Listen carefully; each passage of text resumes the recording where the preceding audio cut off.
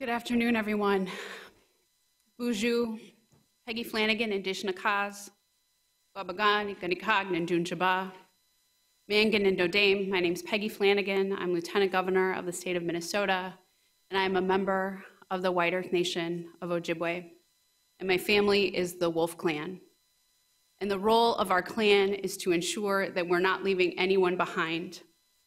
And that work could not be more important than this moment that we find ourselves in right now. As we've come together as we've come together as community, it has been tremendously difficult to not reach out and to embrace each other. Because as our, we were watching our communities fall apart, the moment to connect, the moment to physically touch and care for one another is one of the things that we are prevented from doing right now. But because of the importance of this moment, as the governor mentioned, this is the first time that we have been in the room together because it matters that much. Now, before I became lieutenant governor, I was an organizer.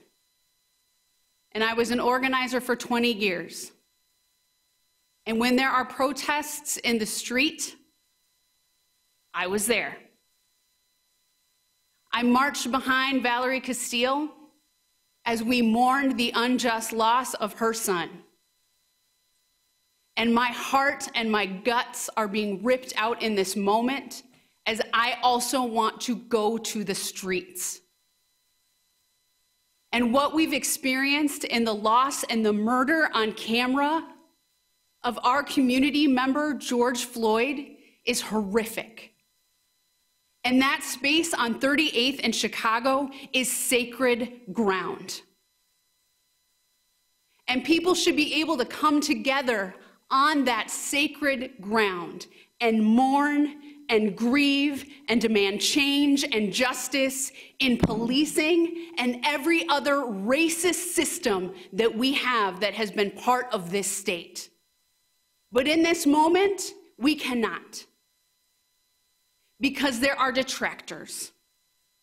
There are white supremacists. There are anarchists. There are people who are burning down the institutions that are core to the, our identity and who we are. As a member of the urban American Indian community, watching the destruction of Migizi, an institution in our community that has been the foundation for organizing, for education, for opportunity, for building community together is no longer there. We did not do that. We have been coming together to take care of our community. And so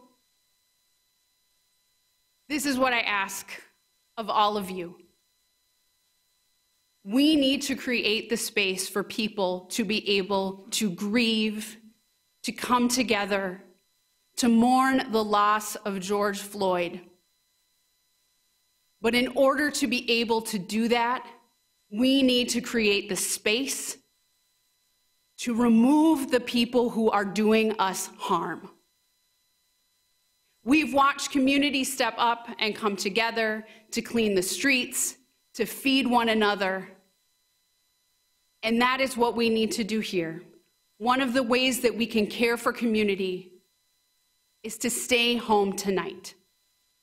Is to stay home tonight so that we can remove those folks who are harming us, so that we can remove those folks who are detracting from the memory of George Floyd and for the work that we have to do to ensure justice is done and to ensure that the three additional officers are held accountable. But we cannot do that until community can gather safely. So I am grateful uh, to be in this space with all of you, to be at home as we are together in community.